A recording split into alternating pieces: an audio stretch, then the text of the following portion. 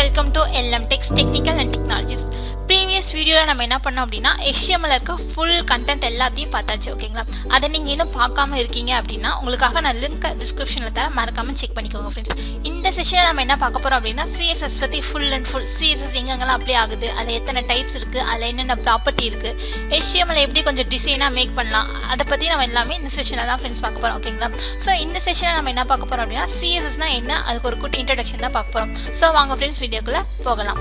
So CSS அப்படிங்கிறது cascading style sheet அதாவது HTML அப்படிங்கிறது ஹைபர்டெக்ஸ்ட் மார்க்அப் லாங்குவேஜோ அதே மாதிரி சிஎஸ்எஸ் அப்படிங்கிறது கேஸ்கேடிங் ஸ்டைல் ஷீட் ஓகேங்களா ஃப்ரெண்ட்ஸ் ஸோ இதை வந்து நம்ம எதுக்காக யூஸ் பண்ணுறோம் அப்படின்னா நம்மளோட நம்ம க்ரியேட் பண்ணுற வெப் பேஜ் வெப் லேஅவுட்டை கொஞ்சம் டிசைனாக ஸ்டைலாக பார்க்குறதுக்கு கொஞ்சம் நல்லா இருக்க மாதிரி யூஸ் பண்ணுவோம். எதை வச்சு அப்படின்னா சிஎஸ்எஸ்ல இருக்க ப்ராப்பர்ட்டிஸ்லாம் யூஸ் பண்ணி நம்மளோட பேஜை அழகாக இனிவேட்டிவாக க்ரியேட் பண்ணுவோம். ஓகேங்களா ஸோ இது வந்து ஸ்டைல் ஷீட்டுக்கான லாங்குவேஜ் அதாவது சிஎஸ்எஸ் அப்படிங்கிறது ஸ்டைல் ஷீட்டுக்கான லாங்குவேஜ் ஸோ இதை வந்து எதுக்காக நம்ம யூஸ் பண்ணுவோம் அப்படின்னா ஹெச்எம்ல இருக்க எலமெண்ட்டோ இல்லை ஸ்டாகையோ அதை வந்து ஓவர் ரைட் பண்ணி கொஞ்சம் பார்க்க அழகாக நீட்டாக சிஎஸ்எஸ் நம்ம யூஸ் பண்ணி நம்ம மாடிஃபை பண்ணுவோம் ஃப்ரெண்ட்ஸ் ஓகேங்களா ஸோ சிஎஸ்எஸ்னா இதுதான். ஸோ இதில் ஒரு த்ரீ டைப்ஸ் இருக்குங்க ஃப்ரெண்ட்ஸ் அது என்னது அப்படின்னா இன்லைன் இன்லைன் அப்படின்னா அந்தந்த டேக்லேயே ஸ்டைல் அப்ளை பண்ணுறது அதுதான் first method so second method என்னது அப்படின்னா இன்டர்னல் அதாவது இல்லைனா எம்படன்னு சொல்லுவோம் ஓகேங்களா ஸோ இந்த இன்டர்னல் மெத்தட் என்ன பண்ணோம் அப்படின்னா நம்ம எத்தனை பேஜஸ் கிரியேட் பண்ணுறோமோ அத்தனை பேஜுக்கு அந்தந்த பேஜ்லேயே ஸ்டைல் மேக் பண்ணுறது ஓகேங்களா